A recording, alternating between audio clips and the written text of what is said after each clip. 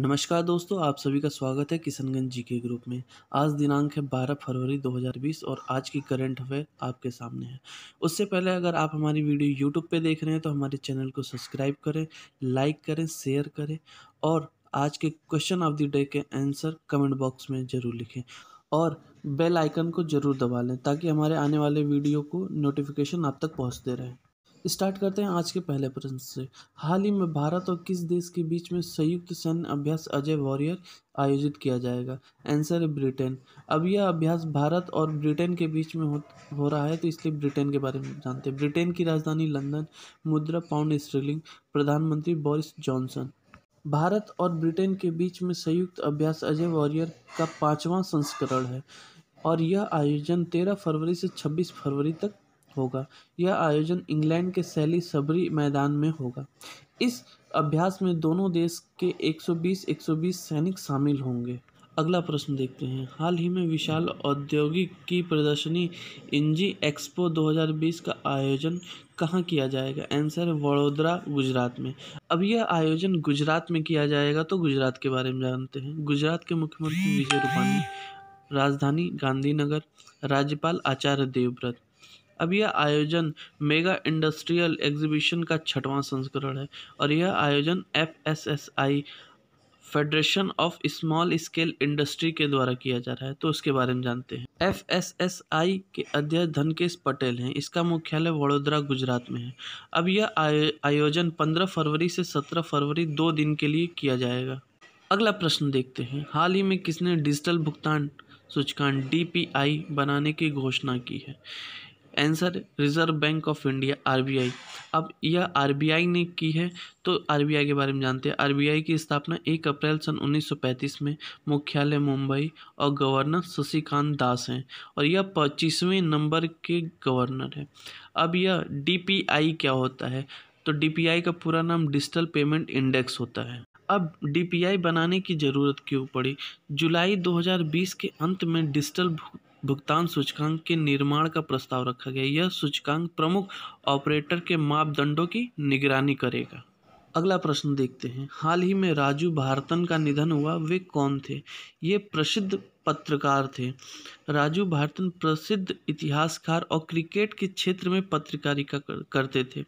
इन्होंने सन 1974 में क्रिकेट पर बनी documentary film the victory story का भी निर्देशन किया है।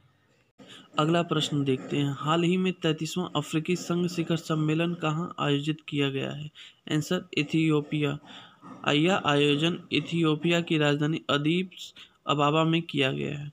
इस सम्मेलन में राष्ट्रीय अध्यक्षों, अफ्रीकी देशों के सरकारी अधिकारियों व दक्षिण सुदान एवं लीबिया में चल रहे संघर्ष के साथ साथ क्षेत्रीय हिंसा को समाप्त करने के प्रयासों पर ध्यान केंद्रित किया गया है।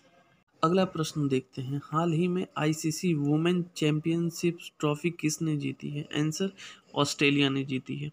अब यह चैंपियनशिप ऑस्ट्रेलिया ने जीती है तो ऑस्ट्रेलिया की बात करते हैं। ऑस्ट्रेलिया की राजधानी कैनबरा, प्रधानमंत्री स्टॉक मॉरिसन है। वहाँ की मुद्रा ऑस्ट्रेलियन डॉलर है। अब बात करते हैं आईसीसी की। आईसीसी का पूरा नाम इंटरनेशनल क्रिकेट काउंसिल, हिंदी में अंतर्राष्ट्रीय क्रिकेट परिषद है। इसकी स्थापना 1909 में हुई। मुख्यालय दुबई में है। अध्यक्ष शशांक मनोहर और सीईओ मनु साहनी है। अगला प्रश्न देखते हैं। हाल ही में एक गवर्नेंस पर तेईसवें राष्ट्रीय सम्मेलन का आयोजन कहाँ किया गया है? आंसर मुंबई, महाराष्ट्र में। अब यह आयोजन मुंबई में किया गया है तो मुंबई के बारे में जानते हैं। मुंबई, महाराष्ट्र में है। महाराष्ट्र के मुख्यमंत्री उद्धव ठाकरे, राज्यपाल भगत सिंह कोश्यारी, राजधानी मुंबई है। अब यह इस सम्मेलन में मुख्य रूप से ई गवर्नेंस सरकारी इकाइयों को पुरस्कार दिया जाएगा। पहले नंबर पर राष्ट्रीय, बात करते हैं इसमें कौन कौन से पुरस्कार दिए गए हैं। पहले नंबर पर राष्ट्रीय स्वास्थ्य प्राधिकरण और आयुष्मान भारत को गवर्नमेंट प्रोसेस री इंजीनियरिंग में गोल्डन अवार्ड मिला।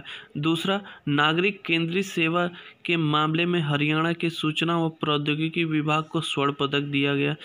तीसरा, नागरिक केंद्रीय सेवा के क्षेत्र में शोध के लिए आईआईटी रुड़की को सैटेलाइट आधारित कृषि सूचना प्रणाली के लिए गोल्डन अवार्ड दिया गया। और इसमें पहला स्थान नागालैंड, उत्तरी पूर्वी राज्यों को मिला है। अगला प्रश्न देखते हैं। हाल ही में विज्ञान में महिलाओं एवं बालिकाओं का अंतर्राष्ट्रीय दिवस कब मनाया गया? आंसर 11 फरवरी को। अब यह मनाता कौन है? मनाता है यूनाइटेड नेशन के द्वारा।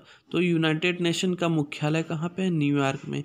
इसकी स्थापना कब हुई? 1935 में। और इसके अध्यक्ष एंटीनियो गुटेरस हैं। विज्ञान के क्षेत्र में महिलाओं एवं बालिकाओं का अंतर्राष्ट्रीय दिवस की शुरुआत कब हुई? यह शुरुआत 2015 में हुई। और इसका मुख्य उद्देश्य विश्व भर में महिलाओं और विज्ञान और प्रौद्योगिकी के क्षेत्र में महिलाओं को बढ़ावा देना। इस बार की थीम क्या है? Investment in women and girls in science for inclusive green growth अगला प्रश्न देखते हैं। हाल ही में राष्ट्रीय स्कूनर चैंपियनशिप किसने जीती है? आंसर है, पुरुष स्कूनर में आदित्य मेहता ने जीता है और महिला स्कूनर में विद्या पल्लवी ने जीता है। अब यह आयोजन महाराष्ट्र के पुणे में 10 फरवरी को हुआ। तो महा, बात करते हैं महाराष्ट्र के। महाराष्ट्र के मुख्यमंत्री उद्धव ठाकरे, राज्यपाल भगत सिंह कोश्यारी, राजधानी मुंबई। अब यह फाइनल मैच पुरुष स्कूनर छः दो से आदित्य मेहता ने पंकज आडवाणी को हरा करके जीता है।